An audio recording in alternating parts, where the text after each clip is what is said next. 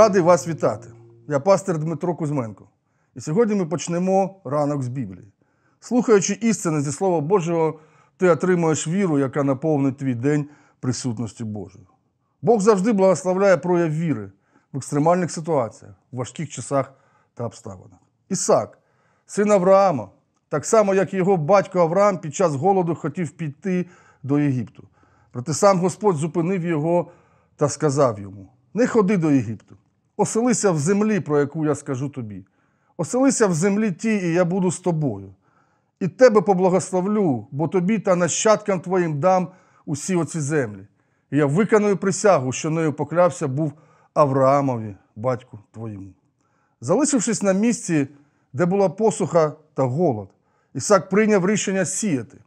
Святе письмо говорить, що він отримав врожай у стократ.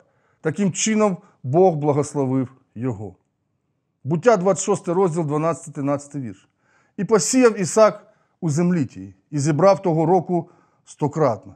І Господь поблагословив був його, і забагатів у цей чоловік, і багатів усе більше, аж поки не став сильно багато. Якщо Бог з вами, ви можете пройти найважчі часи і випробування. Ви не можете добитись життя без проблем, але ви можете через свою віру жити з Богом. Бог був з Ісаком та благословив його. І коли в ці нелегкі часи, як зараз, в ці часи війни, ти зможеш жити, довіряючи Богу, приносити жертву, служити йому, то у відповідь ти отримаєш Боже благословіння та забезпечення.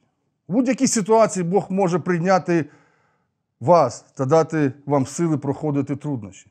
Головне прийняти рішення бути з Богом та служити йому, не дивлячись на перешкоди.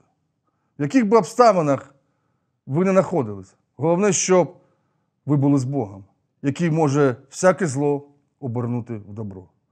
Завжди пам'ятайте, дні бувають злі, але наш Бог залишається добрим. Амінь.